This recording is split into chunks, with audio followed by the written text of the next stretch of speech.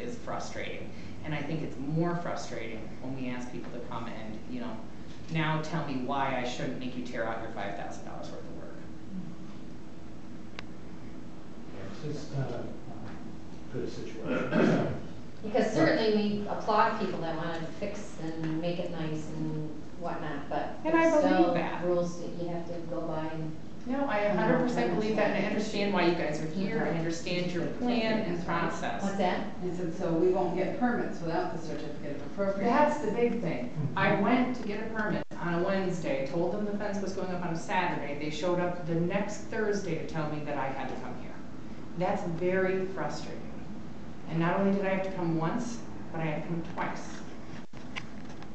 Very frustrating. If I'd have known the process to begin with, had I shown up for the permit and they said, oh, I'm sorry. And you know what it says right down there? Are you in a historic district? And we checked yes. So where's the, there, there's a loss here somewhere. We're going to, going to work on not having that happen in the future.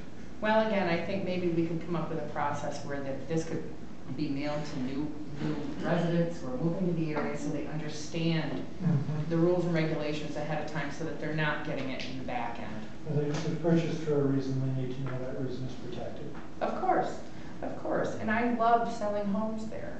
Uh, Mhm. And, you know, I don't want that to change. I want people to understand that we do protect this area. The reason that I bought there was because I feel very strongly about the restoration of my home and the homes around it.